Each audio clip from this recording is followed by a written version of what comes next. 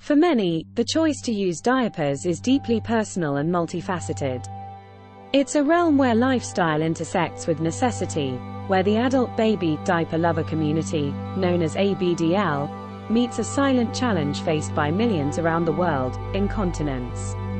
Incontinence, a condition often cloaked in silence, affects individuals across every stage of life. For some within the ABDL community, managing incontinence is not only a practical concern but also a part of their identity, a reality that is lived day by day, moment by moment.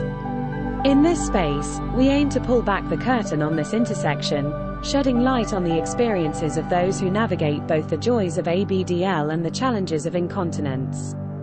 This conversation is about demystifying the misconceptions.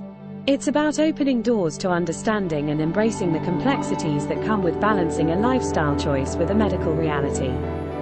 Together, we'll explore practical tips for daily management, the psychological impact, the importance of support systems, and how all of this plays into the larger tapestry of life and relationships.